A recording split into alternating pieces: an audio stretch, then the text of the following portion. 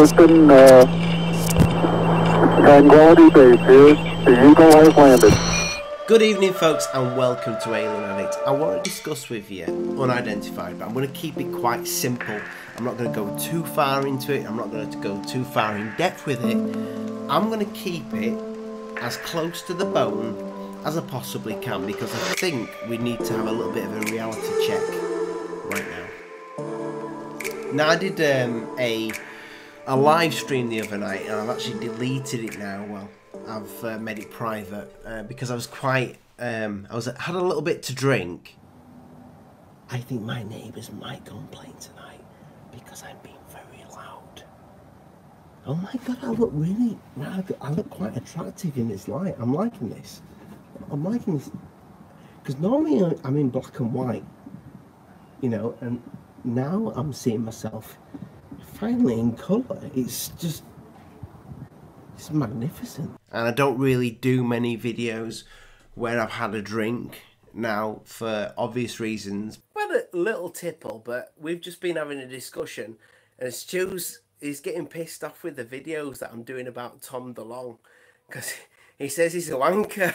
I kind of just shut my mouth off without thinking and going into depth with it. Well, I'm thinking now, and I'm I'm still disappointed in the fact that we never saw anything to do with the Adam Project. Now, this pro, the Adam Project, if you don't know what it is in uh, to the Stars Academy world, is they have a load of objects and they are doing tests on them.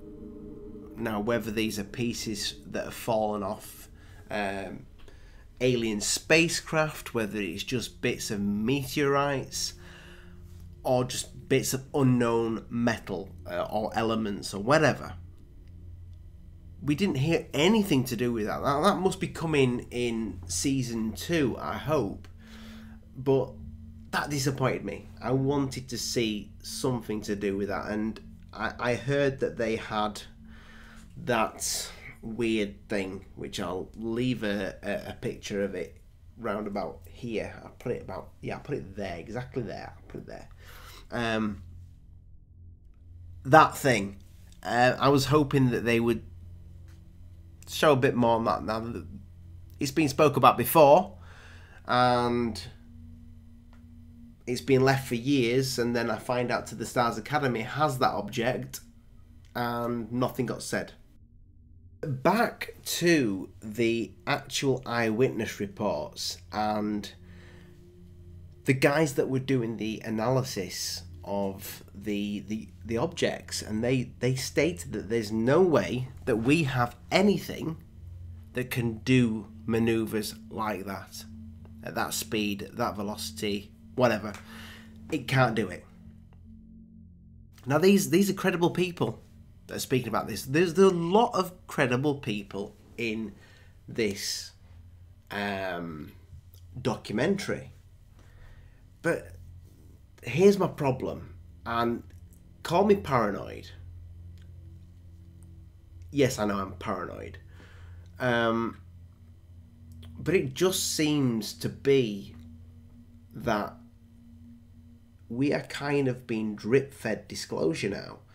But where's the agenda? There is an agenda. Definitely is. 100% there is an agenda. And who's in on it and who's being actually used. Now, one thing I found extremely strange in the whole of the unacknowledged, unidentified um, documentary was the fact that Tom DeLonge was just quiet. He must have said about 10 words in total. It, it was all Lou. And I, I, I, think the guy does a great job. Don't get me wrong, Lou, Lou's fantastic at what he does. You know, he's definitely selling it to us. Um, but this was Tom's project. It was Tom's baby. It was Tom's company. If that was me, I'd be like, well, hang about. This is my company. This is my dream. This is what I wanted to do for the community, for, for, for the entire world, and I've just got to stay quiet now. You know, I kind of felt for him. Uh, maybe that's the way he wants it. Maybe he's kind of like, nah, you know what? I've I went on Joe Rogan. I spoke about my penis, um, and that's kind of it for me. You know, I get carried away. Lou, can you take the reins, please? Maybe that's exactly what's happened, but I do. I'm very. I'm a very suspicious man. Very suspicious. I, I, I do you remember? What about?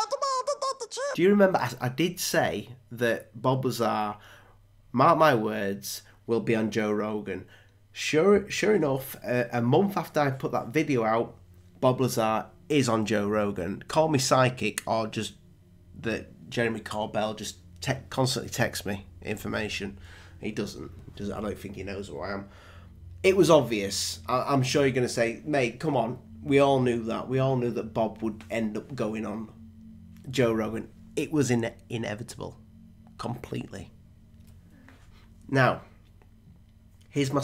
Back to the unidentified and the reason why I've mentioned Bob Lazar is this all seems to be coming at once. We, we seem to be getting uh, that drip has turned into a nice steady trickle now of information that we're all getting, and I'm kind of asking myself why. Why is is it the people at the top of the triangle that is making this happen, and that get give you no, it's not flat. It's not. But I do believe that there are people at the top, and who knows, Tom, Lou, Bob. They could be being told to go on these shows to do these things, or recommended. I, I don't know. I would like to think that Tom DeLonge is in all this because he's massively into ufology, he's addicted to the subject, and he wants the world to be a better place. I would like to think that Bob Lazar worked at Area 51, shit himself. That's not why he left, because he shit himself, but shit himself because he was in deep shit and he's totally telling the truth about the nine spacecraft that they had in them hangars. I would love to say 100% that I believe everything these people say to me. And if you do believe everything that these people say to you, then you have so much faith, it is unreal because you cannot trust anybody. You really can't. You and I think I think that Tom DeLonge, Lou, Bob Lazar, Hal, whoever would probably agree and say you're right. You cannot trust us because you do not have the hard evidence. Until a UFO comes down, it lands on my lawn, an alien gets out, takes a piss on my garden, and then buggers off back home, I will be forever skeptical. Now, I've seen things in the sky, and I do have some photographs, believe it or not, that look extremely shit which is why I've never put them out. I probably will show them in a video and try and explain what I saw. But I saw something go in and out of a cloud once. I was at traffic lights driving, and I think at the time it it was you're not supposed to use your phone while driving, and I didn't. I was pulled up, but I literally got my phone for a split second, took some snaps out of the window, looked back at them and you can see the object. But if I show you the object, it just looks like a shiny ball. That's all it looks like, which could be a balloon or anything, you know. It, but I know what I saw and I know how fast it was moving. It did, well, I don't know how fast it was moving, but it looked like something. You know, I'm not a bullshitter, but I, I'm not going to give you. I can't give you that evidence. And this could be the same situation with to the Stars Academy with Bob Lazar. They cannot give you the hard hitting evidence. I mean, the Element 115, yeah, that's that's now there is. We know there's the Element 115. He was right about that. He was right about Area 51. Um, he was right about the uh, the hand detector. Um, you know, there's a lot of things that that that see that I think, wow, there's truth there. Same with to the Stars Academy, exactly the same.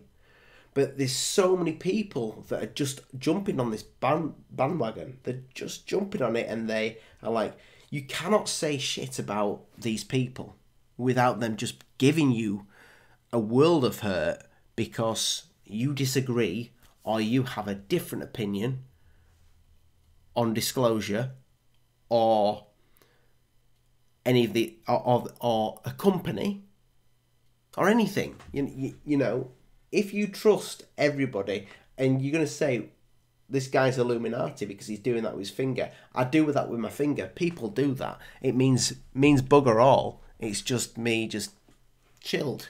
Um, but yeah don't trust anybody until you have evidence.